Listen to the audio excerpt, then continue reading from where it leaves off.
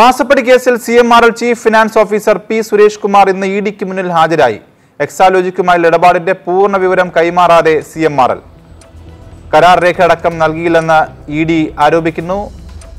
വിവരങ്ങളുമായി N K Shiju ചേരുകയാണ്. ഷിജു ചോദ്യം ചെയ്യൽ മൂന്നാം ദിവസത്തിലേക്ക് എത്തുകയാണ്. ഈ നിർണായക വിവരങ്ങൾ സി എം ആർ എൽ മറച്ചു പിടിക്കുന്നത് എന്തുകൊണ്ടാകുമെന്ന ചോദ്യമാണ്. ബാക്കി എന്താണ് നമുക്ക് കിട്ടുന്ന വിവരങ്ങൾ?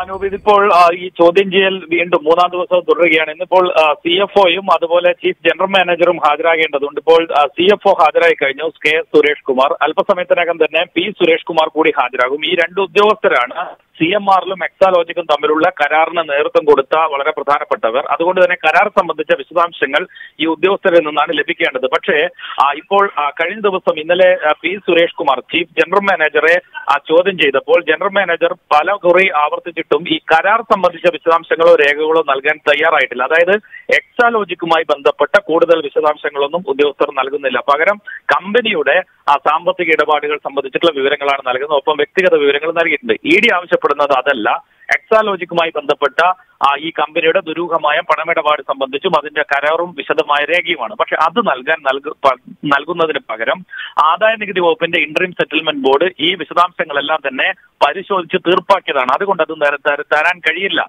എന്നൊരു നിലപാടിലേക്ക് ഉദ്യോഗസ്ഥർ പോകുന്നുണ്ട്. അതായത് എല്ലാ വിവരങ്ങളും കൈമാറുന്നില്ല എന്നൊരു പരാതി ഇ ഡി ഉയർത്തിയിട്ടുണ്ട്.